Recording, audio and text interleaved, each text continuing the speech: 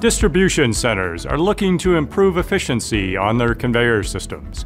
A few months out of the year, these sites face a surge of activity to accommodate for the holiday season. However, most of the time, the conveyors are operating at 60% load or less. Hello, I'm Mark Gamitro, Product Manager for ABB Baldor Reliance Motors. What if I told you we have the best solution to optimize power consumption reduce energy costs, and minimize your carbon footprint. EC Titanium is the ideal motor for use on unit handling applications since it can maintain high efficiency at partial loads. The idea is simple. We take a conventional induction motor and replace the rotor with an innovative no-loss design that improves efficiency. How do we do this? The rotor design uses magnets, making the motor more efficient at partial loads.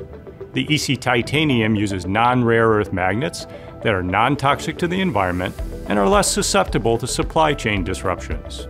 We have made the replacement of your VFD control motor even easier with the same dimensional footprint.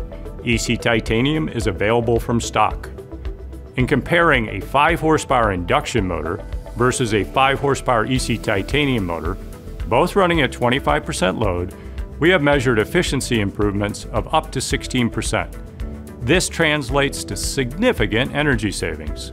Customer feedback tells us switching out just one of these motors, running on an inverter with the EC Titanium, save $520 in annual energy costs.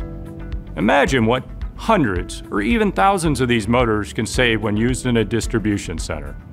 Join us and be part of the energy efficiency movement Make the choice to adopt higher efficient solutions. Thank you for your attention, and you can find out more information by visiting baldor.abb.com.